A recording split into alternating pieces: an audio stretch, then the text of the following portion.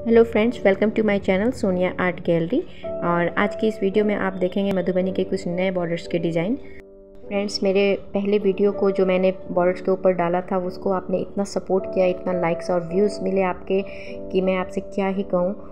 Thank you so much आइए आज का वीडियो स्टार्ट करते हैं। अगर आप मेरे चैनल पर नए हैं तो लाइक और सब्सक्राइब ज़रूर कीजिए। तो फ्रेंड्स जैसा कि आप यहाँ पे देख रहे हैं बॉर्डर्स बनाने के लिए मैंने लाइन ड्रॉ कर लिया है। अब हमारी जो थिक बॉर्डर है बीच वाली, उसे दो बराबर पार्ट में डिवाइड करना है, बीच में लाइन डालकर, जैसे कि मैं यहाँ पर दे रही हूँ।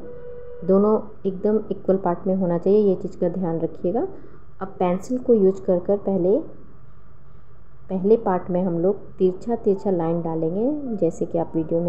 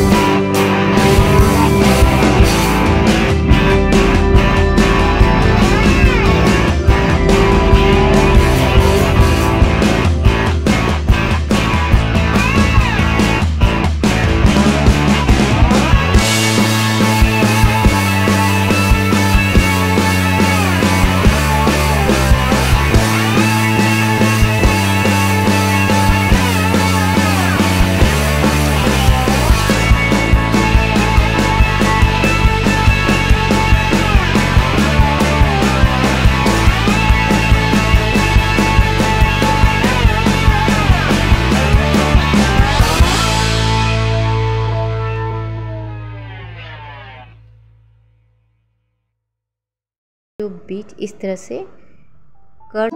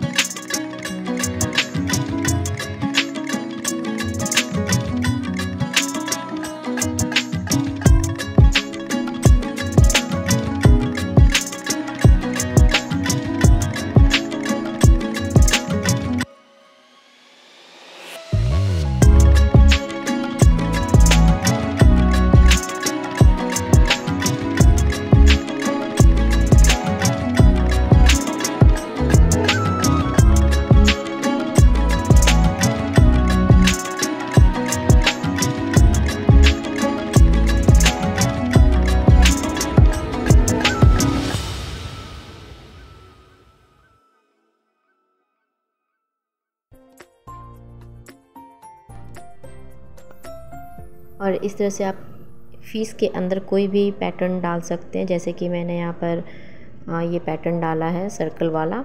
और आप चाहिए तो कुछ और भी पैटर्न इसमें डाल सकते हैं, जो भी आपका मन करे।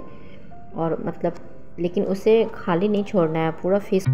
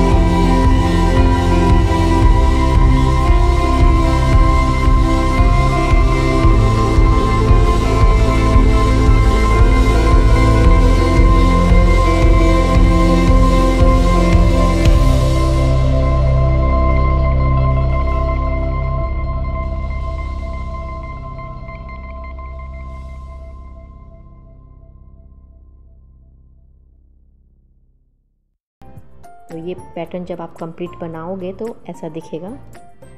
काफ़ी खूबसूरत और इस पर मैंने रेड पेन से जो है नॉर्मल रेड पेन इंक वाला उससे पतले पतले लाइनअप किया है बीच वाले थिक बॉर्डर में जैसा कि आप वीडियो में देख रहे हैं।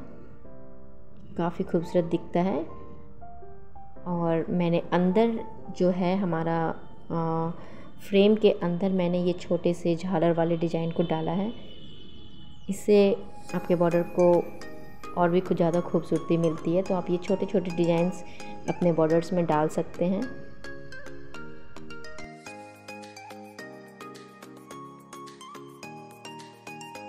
आइए स्टार्ट करते हैं तीसरा बॉर्डर ये थोड़ा डिफरेंट टाइप से मैंने बॉर्डर का लाइन खींचा है। बीच में जो मैंने बॉर्डर डाला है, वो थोड़ा सा पतला और दोनों साइड के बॉर्डर्स को मैंने थिक रखा है। तो इस तरह से मैंने सर्कल वाला डिज़ाइन से पहले बीच वाले बॉर्डर को फिलअप कर ले, कर लेना है अपना। ये थोड़ा डिफरेंट होने वाला है ये बॉर्डर क्योंकि हर हर टाइप का बॉर्डर यूज़ करना चाहिए। तो मैंने थोड़ा डिफरेंट सोच कर ये बॉर्डर तैयार किया है। इस तरह से मैंने फिलअप कर लिया बीच वाले बॉर्डर को। जिस तरह से कि आप वीडियो में देख रहे हैं।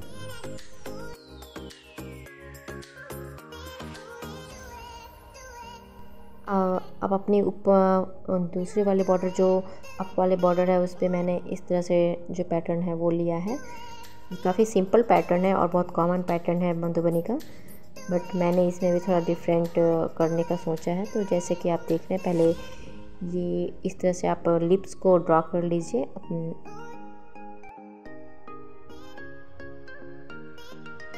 अब जो यहाँ पर है, जो मैंने पहला फ़र्स्ट लिप्स ड्रॉ किया था, उससे इस तरह से कर्ल करते हुए जो जिस तरह से हम लोग लोटस के लिप्स को ड्रॉ करते हैं ना तो उसी तरह से इसमें पैटर्न मैंने डालना है और दोनों अपोजिट साइड में डाला। जैसे कि फ़र्स्ट मैंने अप में डाला तो दूसरा मैंने डाउन में डाला। तो इसी तरह से सारा पैटर्न मैंने कंप्लीट किया है और ये थोड़ा डिफरेंट लुक देता है मधुबनी का। तो इसी तरह से रिपीट बाय रिपीट पूरा बॉर्डर को हम लोग कंप्लीट करेंगे।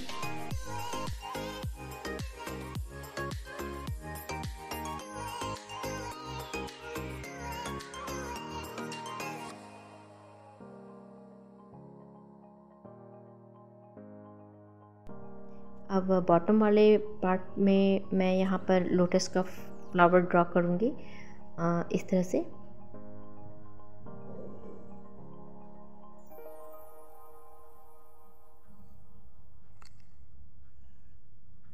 थोड़ी थोड़ी दूरी पे एक एक लोटस का फ्लावर मैं ड्रॉ कर रही हूँ, जिस तरह से कि आप वीडियो में देख रहे हैं।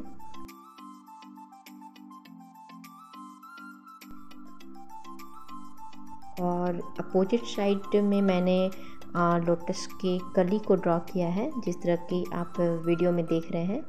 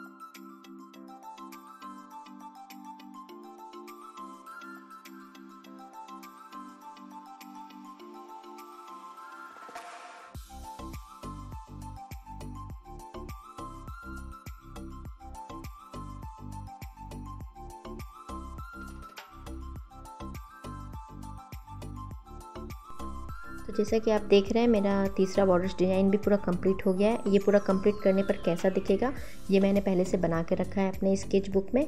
तो ये देखिए दोस्तों, ये ऐसा दिखेगा। मैंने यहाँ पर जो है लोटस वाला डिज़ाइन सिर्फ़ अप और डाउन वाले बॉर्डर्स में ही डाला है। दोनों साइड वाले बॉर्डर्स में नहीं डाला है, क्योंकि मेरा स्केच बुक जो है वो सिक्स बाय सिक्स का छोटा स्केच बुक है। अगर आप बड़े पेपर पे बना रहे हो तो वो लोटस का डिज़ाइन आप चारों तरफ़ डाल सकते हैं और भी ज़्यादा खूबसूरत और सुंदर दिखेगा। तो इस तरह से हमारा तीनों जो बॉर्डर्स के डिज़ाइन है कंप्लीट हो चुके हैं। कमेंट करके आप ज़रूर बताइएगा कि आपको कौन से अच्छे लगे। Thank you for watching